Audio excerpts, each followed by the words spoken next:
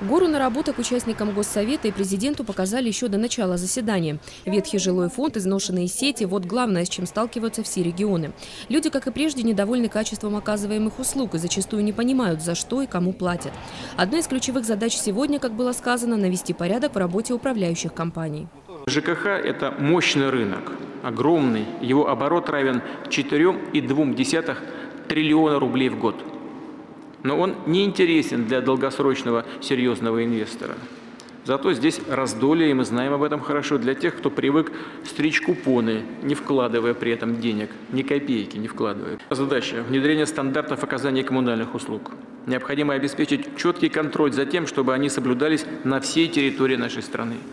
Предприниматели должны быть готовы не только вкладывать свои средства, но и качественно выполнять стоящие перед ними задачи, свои обязательства перед потребителями услуг, иметь штат квалифицированных кадров – при этом Путин напомнил, что ЖКХ – это социально ориентированная отрасль, и тарифы должны находиться под государственным контролем. И нельзя допускать резкого и неоправданного увеличения платежей.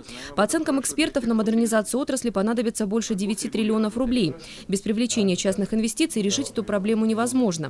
Что касается края, то за последние пять лет в регионе отремонтировали 3000 многоквартирных домов.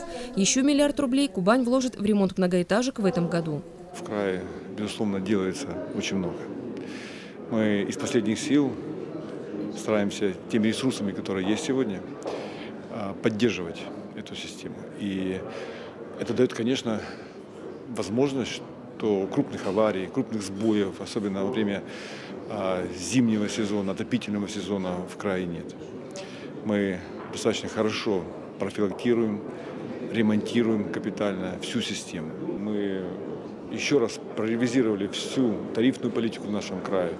И еще раз хочу и заверить, и подчеркнуть, чтобы люди это знали, и работал в крае общественный контроль, что рост тарифов не должен превышать отметки 6%. А, это уровень не больше инфляции текущего. А президент сегодня на совещании сказал, что, может быть, рассматриваются сегодня вопросы вообще замораживания тарифной политики. Это, конечно, было бы, безусловно, прорывным моментом, и э, это не только помогло бы жилищно-коммунальной системе, но и, безусловно, всей экономике. Александр Ткачев также отметил, что навести порядок в ЖКХ можно только через внедрение механизмов общественного контроля и повышая конкуренцию, чтобы человек мог сам выбирать, кто качественнее и дешевле обслуживает его дом. Именно по этому пути сегодня идет край. Галина Моисеева, телекомпания ВКТ.